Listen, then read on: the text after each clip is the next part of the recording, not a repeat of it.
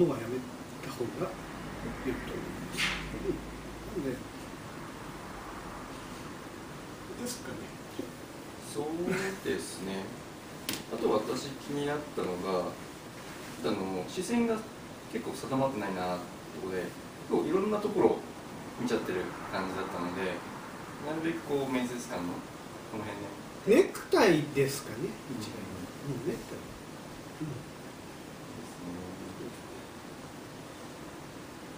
死亡理由もこ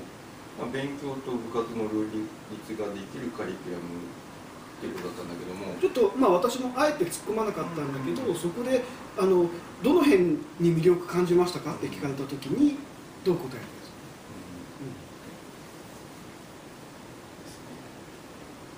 か？あとはななんであの部活勉強と部活の両立があの例えば、まあ、志望校はあると思うんですけども本校じゃなくて他の学校ではできないと思いますかって聞かれた時に何て答えます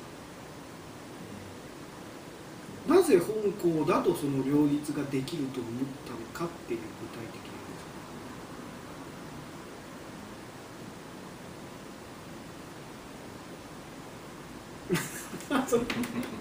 な なのでああのあと一つアドバイスとしては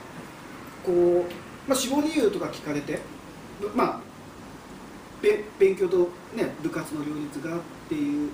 ことに関して今質問したようにあのこう言葉のキャッチボールみたいなイメージで答えたことに対してもう一歩こうって突っ込まれたらどうするかっていうことですよね。うん